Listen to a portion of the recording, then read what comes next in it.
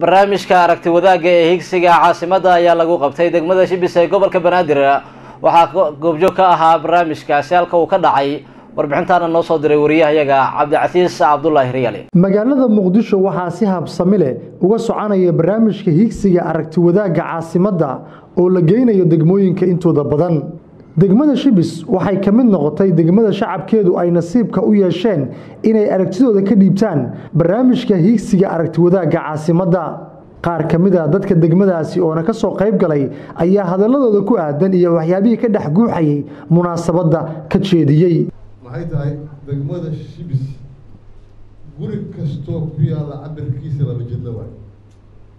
Guri kastoo degmada shibis ku yaalla laba jidla waay sababtu waxay tahay jidadkii yaraayo dhan oo yili waa la xiray afarti afarti guriyoo isku dhiganba dhinac walba waxaa ka mara waxaa la sameeyey hadda waxaa arkaysaa sida hargeysa u dhisan taqato meel caafad dheer oo waxaa arkaysaa labada dhinac kaliyo jid ka maro.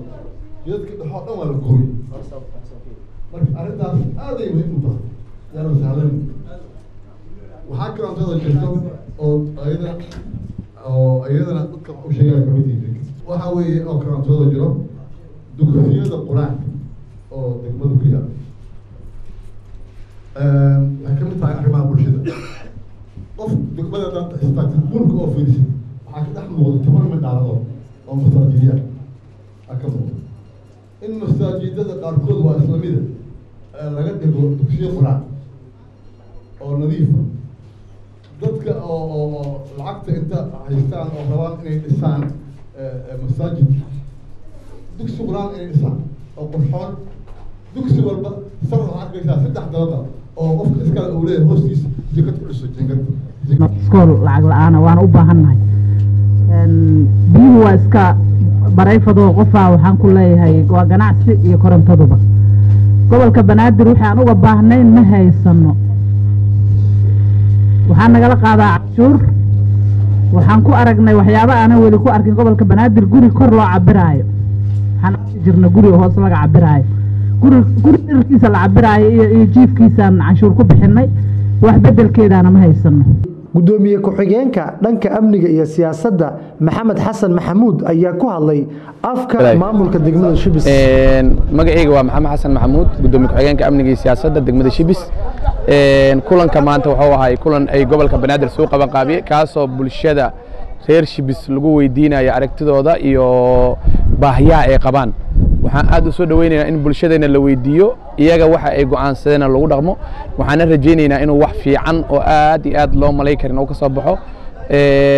Aad iyo aadaana loogu guulaystay bulshadana ay afkaarteeda dhammaystiran u soo bandhigatay. Ugu dambeyntii munaasabadan oo ahayd mid dhowr degmo oo kala duwan horey u soo martay iminkana lagu qabtay degmada shibis waxaa qaybaha bulshada la hadlay gudoomiye ku-xigeenka arrimaha bulshada gobolka banaadir cabdulaahi cilmi ereg tanaad ama lixaad aan imaado degmada shibis. Waxay ku jirtaa degmooyinka aan ku tashanno oo aanan aaminsannahay in ay noqon karaan tusaalaha caasimadda iyo dadka reer muqdishaawiinta ah maadaama laga heli karo maadaama laga heli karo soomaaliya nooc kasta oo ay u qaybsan tahay ama degaan ama qabiil ama qowmiyad wixii la yidhaahdaba shibis waa laga helayaa waxaa kaloo ay haystaan guddoomiye firfircoon iyo ku-xigeenno ilaa laamaha. Si fiican baan u arkay waana siminaaradii ugu horeeyey dadka aan siinay daadejinta maamul wanaagga. Waxaana rajeyn doonaa wax badan oo aa ka cabateen hadday noqdaan dugsiyadii hadday noqdaan iskool la'aanta laydinka degan yahay caafimaad la'aanta in dhowaan xal loo heli doono. Barnaamijka aragti wadaagga higsiga caasimadda ee ka soconaya magaalada muqdisho ayaa ah mid intiisa badan laysku dhaafsado afkaar iyo oraha ku aadan higsiga magaalada muqdisho. Cabdiciis cabdulaahi maxamed cabdiciis riili somaali cebol magaalada muqdisho